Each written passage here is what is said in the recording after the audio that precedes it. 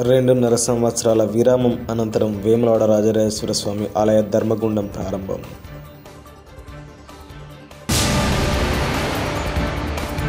మోహినికుంట మల్లికార్జున స్వామి కళ్యాణ మహోత్సవంలో పాల్గొన్న కాంగ్రెస్ నేత ఆది శ్రీనివాస్.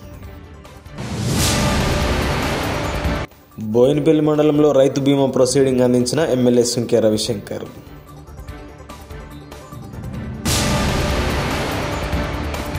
కొనరావుపేట అటవీ ప్రాంతంపై అక్రమార్కుల కన్ను. చెట్లను తొలగించి భూమిని చదును చేస్తున్న వైనం. ఘనంగా సిఐటియు రాజన్న సిరిసిల్ల జిల్లా మూడవ మహాసభలు. భారీ సంఖ్యలో హాజరైన కార్మిక సంఘం ప్రతినిధులు.